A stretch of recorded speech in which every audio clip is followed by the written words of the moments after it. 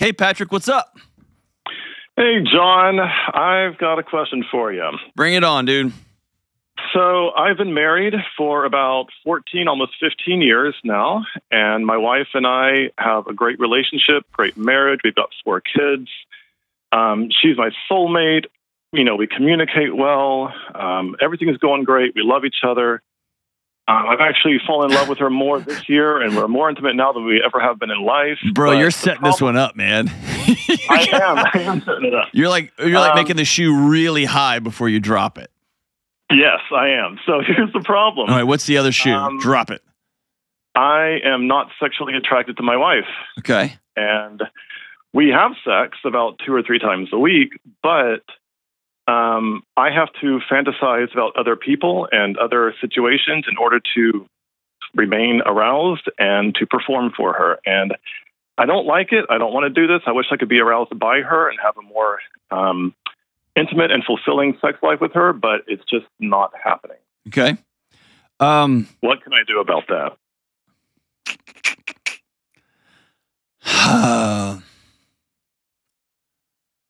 so I feel like the preamble, all the stuff you told me up until this Uh-huh. isn't true. Cuz she doesn't know this. And you told me you're more intimate than you've ever been, you're more in love, you're more communicative, you'll talk about everything, but she doesn't know you're not attracted to her. Well, she does now. She just found out a couple days ago. How, how'd she find out? Were you like, were you posting it online? How'd she find out? Um, I I broke down and confessed to her. I told her, "Look, I'm I have a hard time performing for you, and I have to fantasize in order to do it." Why, why do you consider sex a performance? So that's what she asked. Um, I don't know. I feel like I have to. Uh, I have. I have to be the one that initiates. I have to be the one that pulls the whole thing off, or else it's just not going to happen. And that leads me to this sense of, bro, like, I don't know what kind of, like, I, and I'm, I'm, I would hug you if you were sitting here. Okay. So I want you to hear me say that. Okay. You are facing a challenge that bajillions of people, men and women, face in their relationships. But often it's men. And it has little to nothing to do with sexual attraction. It has to do with feeling alive in your own home. And you don't. And so everything has to be a theater performance. And it has to, I've got to get my heart rate racing again. And I have to concoct this adventure. And right now, I'm trusting you that it's staying in your head, but it will be out of your head shortly. You'll be in somebody else's bed because it's that quiet life of desperation. And so, as good as you think things are, man, I feel like you're almost having to tell yourself that because you're drowning. You're not even drowning, you're just suffocating in your own home. Is that fair? Am I, am I crazy? Uh, you might have a point in some regards. I've, I've been working on a lot of that stuff about you know bringing my heart back to life and um, finding out what it is that makes me feel alive. Um, but What makes you, what, what is like- it? What is it? Um, honestly, I'm not really sure. I like um, just hanging out around my friends. I like um, going on small adventures, but you know, I'm not super extroverted either. So a lot of the stuff that people want to do just kind of intimidates me, I guess. That's where that's where that's where it is. That's where the adventure is. So you've you've created this story where I'm kind of introverted, so that's off the table. I'm kind of this, so that's off the table. And yet your body is starving for it. Like forget forget your friends for a second. You and your wife, like what does play look like? What does eros and desire look like? How does she seduce you? She doesn't. Okay, that's the issue to be addressed. How can I address that? Openly and directly and with compassion.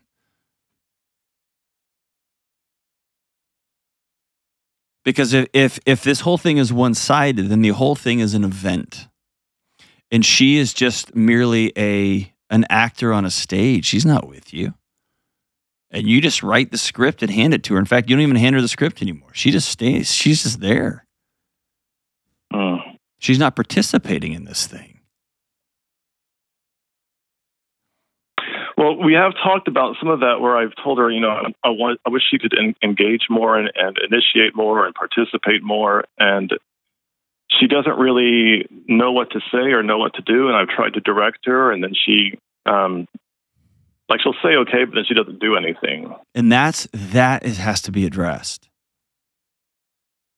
because in many ways you've said, I don't, I I need this from you. I need to feel loved. And right now in this season, here's what feeling loved looks like. And she nods at you and then goes, I don't really care about that. Mm. And often there's another side to that. Has she told you, here's what makes me feel loved and alive? Yes, she has. And what does she say?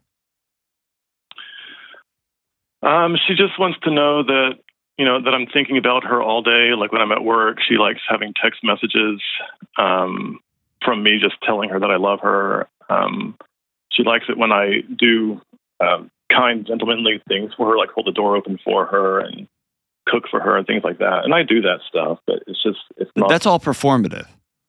Yeah. What's beneath that? She wants to feel special. She wants to feel like she is my one and only. But she's not. Because you have a whole cadre of actors that you rely on to fulfill these stories every night or two or three times a week. And you see how it just turns into this weird figure eight. It's this infinity loop that nobody can catch the other person. It's a strange dance where you are literally suffocating in your own home. And the way you get little gulps of oxygen is to create fantasies and stories so that you can get this physical release. And she is not a participant. She's just being used for that release, and she can feel it in her nervous system. And so then she begs for, Will you tell me that I'm the only one, that I'm special? And you outsource that to text messages and to doing the dishes and opening the door and putting your hand on the small of her back. All those are important things, but both of y'all are just trying to breathe through a straw. Mm. And unless you both sit down and say, All right, how long have y'all been married? Almost 15 years. 15 years. Here's the top 10 fantasies of mine. You ready? Right? We're going to go down a rabbit hole. And y'all both agreeing curiosity, not judgment. All right, tell me about that one. Why is that exciting? Mm. And being able to sit in that tension, in that space. And I know people are listening to this right now being like, I could never tell the person I'm married to that I had this thought one time of, and I would tell you that's the problem.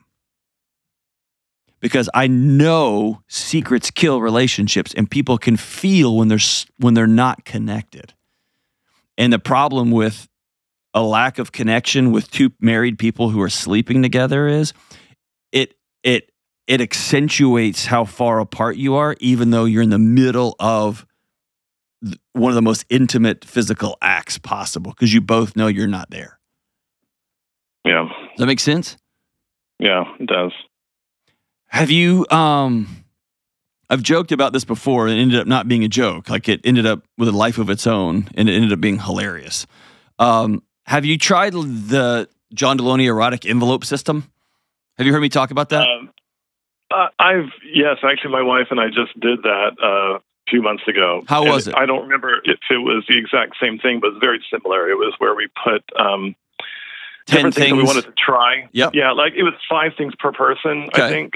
Um, and we put them each on a different piece of paper and into a jar, and we pulled one out each night and talked about it. Okay.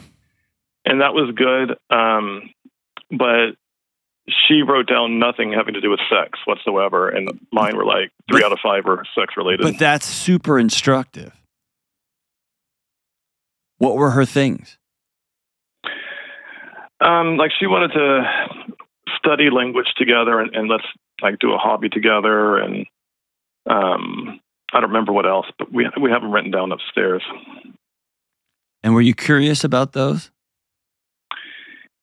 Um, yeah, I feel like we could have had more conversation about the items that we pulled out, but um, I want to pick them back up. I certainly want to review them with her because that that's going to tell her, or that's that's that's that's her clumsy way of telling you what she's missing. And your your three or four or five or six or ten fantasies or sex acts, the things you want to participate, y'all want to do together. That sense of aliveness and adventure and desire and thinking about it all day. And her being a full participant, not for you, but with you. That's what you're missing.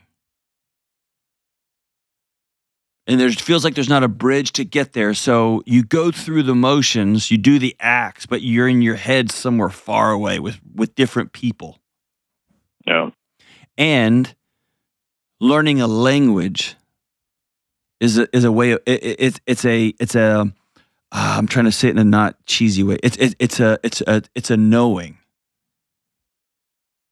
Right? It's a coming together in a deeply intimate way. We have done a thing, we've been through a hard thing, and now we have a way of communicating that no other people in our life do.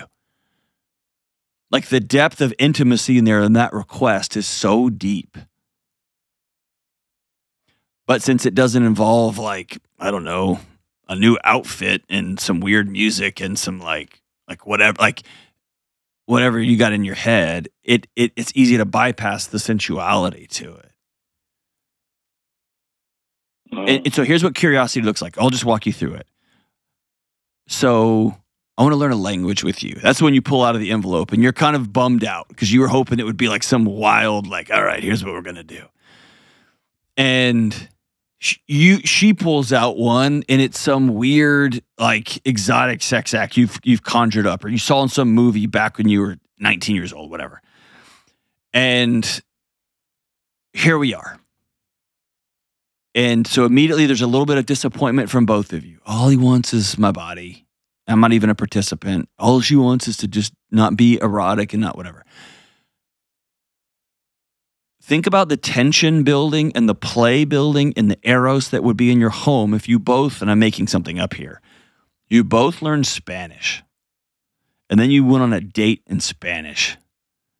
And you both were people like, you were both from Spain and you went to some. I, you see what I'm saying? Like this thing could end in this wild romantic night. But it's about getting the layer beneath the layer beneath the layer. Uh, you know what I'm saying here? Or is it like, am I sounding like a lunatic? No, I get you. I, I totally understand. It makes sense. Yeah.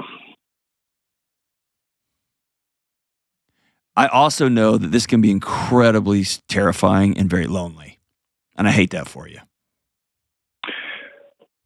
Yeah, well, some of the some of the things that you mentioned are great, and I, I have talked about some of this stuff with her, and it seems like, I mean, again, like the stuff I bring up, she's not interested in it, and the stuff that she brings up, I try, but then again, it just feels like it goes nowhere. Is the interest in? I'm not interested in um, being a member. I don't want. I don't want to be a cast member in that particular movie, or is it? I don't want to have that adventure with you. It's um I'm not interested in sharing. I'm not interested in like that particular roller coaster. I'm honestly not sure. I think that's the question. Because my guess is um there are some things that people say, dude, I'm just not comfortable with that. Or that hurts, or I don't feel good. Like that that that's part of it. And that's just about open dialogue and and and talking back and forth. But often if there is a pattern of performance, a pattern of I am I'm just doing this for you, but I am not a I'm not doing this with you. Then just another layer, another outfit, another whatever, another fantasy to layer on top of that. Um, Ah, I'm not really interested in that.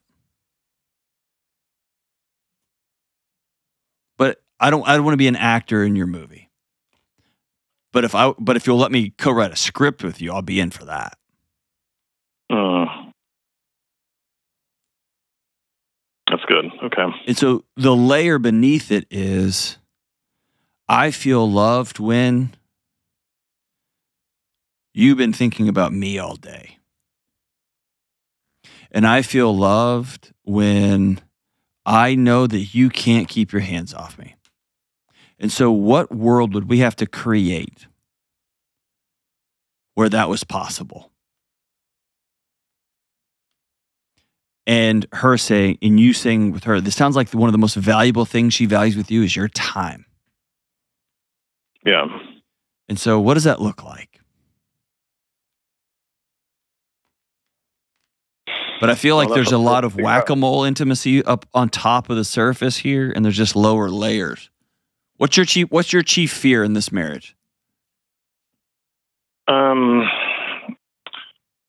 now I guess it would be that um, she just wouldn't want to. Uh, she would. She would show no interest in getting to know me, or not care about uh, wanting to enter my world, or know what's really going on in my mind, or Okay, have you said those what we should- things? have I said those things to her? Yeah. Yes, I have. And she just said, "You're right. I don't want to know you." Um, she admitted to having those feelings in the past, in the early years of our marriage. What's But- that? Um, sorry. What feelings? I don't even want to know him. Yeah, feelings like she just is married to me because I'm the breadwinner and she doesn't really want to get to know me on a deeper level. And that's the way we got through our first seven or eight years of marriage. Um, and, you know, I almost left the family. I almost got a divorce back then, but things are different now. We've worked through a lot of our issues and it's a lot better now than it was 10 years ago, 15 years ago. Um, but I'm just afraid that that's going to come back. Is there? Is that possible? I don't know. Is it probable? Um, I don't know. I can see, I can see how it could be, how it could happen. Yes. But do you also see how you're creating a self fulfilling prophecy? Not exactly. Things were bad seven or eight years ago. No question. I mean, you have a woman telling you, like, I really didn't care about you. You were a safe bet. And I needed a, a, a warm bed to sleep in. And so I was willing to high five you a couple times a week. I didn't really care about you. And you felt that every second of your life seven or eight years ago. And did you did you have somebody on deck during that time? Did you have a coworker that made you laugh or somebody that you texted back and forth with that you thought, man, this would be my, my off ramp? Mm, not really. No. Okay. So you just were all alone in your misery? Yeah, I was pretty lonely. Okay. Um so your body put a GPS pin in that. And now you hedge. You don't tell the full truth, the whole truth, and nothing but the truth. Because you that would have gotten you burned seven or eight years ago. Oh. And what it's hard to realize is the house is on fire right now. And so you're not going to tell her everything. She's just going to continue to, you're going to live in your head and you're going to act it out in real life. And she's just going to put up with it. And you're going to find yourself back in that same pattern of she will participate a couple of days a week because it keeps you happy and it keeps the money depositing in the direct deposit. And as much as you're in your head during those times, she's for sure in her head thinking about other things. Right? Like bills or laundry or whatever else, but not what you wish she was thinking about. And it just creates what y'all, y'all have already had. And that's different than sitting down and saying, I want us to build something together. And giving her the opportunity to say, I'm not doing that. because you got to deal with that issue. Mm. Does that make sense? Yeah, it does. And I know it's terrifying. Do you think she's gonna like be out, or that she's gonna force you to say, "Okay, then I, I don't want to be a part of this"? No, divorce is not on the table. There's there's no chance of us separating. But Okay. um, Okay, here's what's beautiful about what you just said. There's no chance this ends. Zero. And so now all you have to choose is one or the other. Do we want a home of eros and desire and playfulness and fun and connection? Or do we want a house of loneliness and performance and a descending misery? Because we're not going to leave.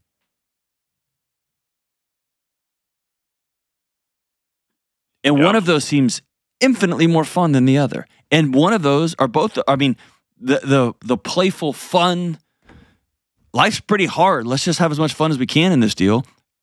Means we're not going to have sex all the time. And it means not every night of sex is going to be the Super Bowl. There is just going to be boring married sex sometimes and that's great. It's awesome. And there's going to be wh- what uh, uh, one woman told me uh, it, it feels like a warm hug. It's just connective. It's not adventurous. It's not ah. It's not that. It's just gentle connection, good time. And then there's adventure nights. Then there's fun times. And there's also, hey, what does intimacy look like outside of the bedroom? Let's sign up for a dance class together. Let's do, oh, you want to do things with me? I'm going to make you a priority in my life. We're going to co create, we're going to co write this script. You're not just going to be an actor three nights a week in my head. And that's just a totally different life. And, and bro, just so you know, you're not by, you're not alone, man. This is the state of modern marriage. Two people expecting the other person to fulfill them instead of sitting down and saying, dude, let's make something amazing together. And it's not going to be amazing all the time, but let's build towards something awesome where we laugh a lot and play a lot. And I'm going to concede here and I'm going to compromise here. And I don't even know why you're kind of into this because it's kind of weird, but I'm going to play along as long as I feel comfortable and I feel safe. And that's too weird or that's super painful or I, I can't. All right, let's have that conversation. Let's just have it. And sometimes the Eros is in the conversation. Tell me more about that. What is it that's exciting about that? Where did that even pop into your head? Right? That can become some of the most intimate conversations and learning. And you learn about your fears, learn about what you're into, learn about what scares you, learns about what like really makes your heart start beating. Man, what feels a little deviant, all those things. Man, you get to share that with somebody, especially anchored in when we're never leaving each other, ever. Gosh, that sounds amazing. But you both got to be willing to go for it. Go all in. I'm grateful for you, brother. Thanks for being open and for giving me a buzz. I think the conversation that I would start with if I was in your situation would be to take my wife out and say, Hey, I realized over the last four or five years, our marriage has gotten good. It's gotten real good. But I've made you an actor in my world, in my movie. I want to write something with you. Let's do this together. Let's go build something amazing. And in so doing, I want you to tell me beneath the let's do a class together, beneath, I want you to wear a nurse's outfit together, whatever the thing is, beneath all that, like what kind of world do we want to create? What does that look like? Thank you so much for the call, my brother. I'm grateful for you.